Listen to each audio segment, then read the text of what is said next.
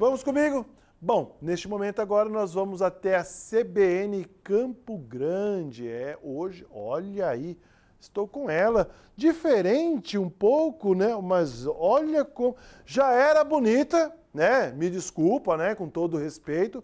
Agora, sem os óculos, ficou muito mais jovial. Gente, esse pessoal de Campo Grande, eles estão que estão, né? Vocês já pararam a perceber? É o Gerson, agora a dona Karina. Muito bom dia. Qual o destaque desta manhã?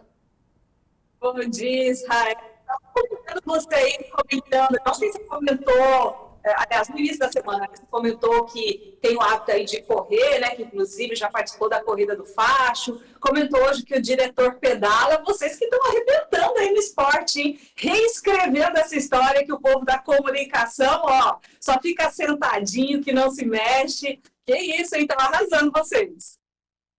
Pois é, menina, aqui nós estamos aproveitando né, bem o nosso tempo para a prática esportiva, inclusive né, é, o diretor, o Matheus Siqueira, ele está se preparando aí realmente para ingressar nesse caminho do mountain bike, não é mesmo, diretor? Daqui a pouco. Sim, Olha, ele está falando que sim. Mas vamos é, lá. Mas vamos lá, Karina. É, diga para nós aí o destaque. Vamos lá, vamos aos destaques desta manhã aqui por Campo Grande. Olha só, na verdade o óculos ficou ali na mesa porque eu fui acionada a chegar aqui e trazer essa informação para você e literalmente ficou para trás, viu? É, e enfim, né, nessa correria a gente segue. Mas falando de uma pauta que eu acompanhei agora pela manhã aqui em Campo Grande, na Associação dos Municípios de Mato Grosso do Sul, os prefeitos convocaram a imprensa para apresentar o que está acontecendo com eles, mas principalmente para falar da dificuldade de orçamento. Os municípios de Mato Grosso do Sul, essa associação que representa os 79 municípios de Mato Grosso do Sul, está realizando hoje uma mobilização nacional, reivindicando, né, trazendo aí algumas pautas urgentes, porque está faltando orçamento para os municípios.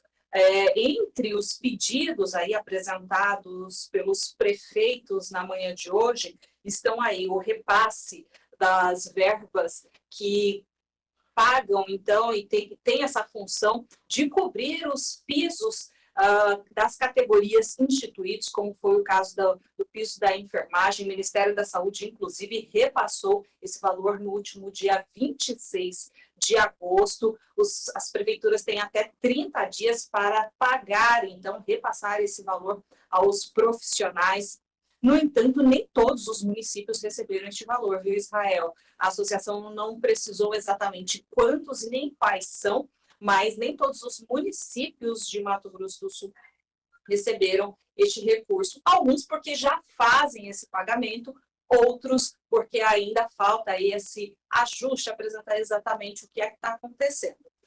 Uma outra solicitação dos prefeitos hoje diz respeito ao pagamento das emendas parlamentares. Eles questionam o atraso no repasse das emendas parlamentares e pedem também o adiantamento de uma parcela que está prevista para de outubro, agora já para o mês de setembro, isso para cobrir o orçamento dos municípios. O presidente da ASOMASUL, Valdir, Valdir Júnior, ele disse que hoje 47% dos municípios de Mato Grosso do Sul estão no vermelho, estão enfrentando dificuldade para pagar aí as suas despesas essenciais, né, os trabalhos necessários e que sem esse aporte tanto das emendas parlamentares quanto do repasse das, uh, dos pagamentos dos salários das categorias né, instituídos através lá do Congresso Nacional, mas que joga essa responsabilidade para os municípios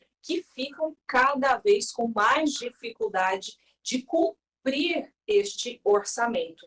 Essa foi uma das situações apresentadas pela manhã lá na sede da Soma Sul. Eu conversei também, Israel, com o prefeito de Três Lagoas, Ângelo Guerreiro, que contou que apesar do perfil do município, né, aí de Três Lagoas ser o segundo maior PIB do estado, atrás apenas de Campo Grande, apesar dessa pujança, do tamanho do município, ele também enfrenta dificuldades falou, inclusive, que há aí uma previsão de que até o final do ano, de acordo com aquilo que foi previsto no orçamento do ano passado, falte 50 milhões de reais para o custeio aí até o final do ano. Ângelo Guerreiro lembrou ainda que Três Lagoas não só atende às necessidades do município, mas também de outros 11 municípios do entorno que acabam sendo socorridos aí por essa cidade que é polo na região oeste. Pois é, Karina, Três Lagoas acaba se tornando aí um ponto de referência para outros municípios aqui da costa leste, no, no, quesito de saúde. Eu acompanhava, inclusive, a sua participação na CBN Campo Grande, na Somaçu, né? Aqui pelo meu aplicativo da CBN, vem ouvindo aí as, as reportagens de Campo Grande. Karina, muito obrigado pela sua participação. Eu imaginava que você estava de lente, mas agora você explicando, você chegou correndo da pauta. Prepara, menina, que você vai entrar ao vivo. É, a vida é assim mesmo, né, Karina? Aqui não é diferente é, também.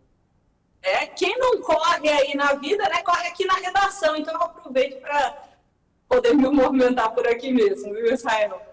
Aqui também não é diferente, é um corre-corre para atender aí, a CBN corre para atender aqui também a, o, o, JP News, enfim, toda a grade do Grupo RCN.